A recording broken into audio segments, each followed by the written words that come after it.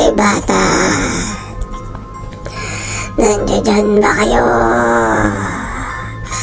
Nanonood ba kayo? Meron lang kasi akong hinahanap. Mga batang makukulit. Ayaw sumunod. Ayaw matulog. Hindi nakikinig sa magulang nila.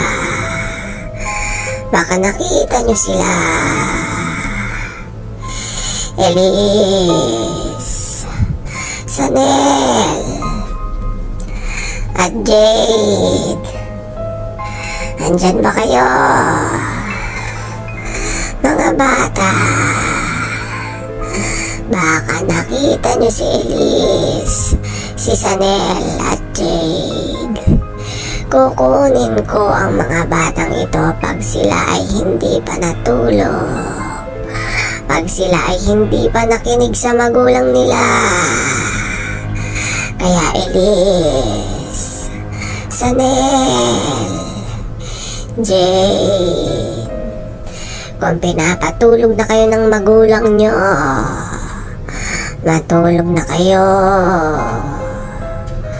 Makinig kayo sa kanila. Tigilan na ang pagsiselfon. Dahil kung hindi niyo yan titigilan, pupuntahan ko na talaga kayo. Kukunin ko kayo.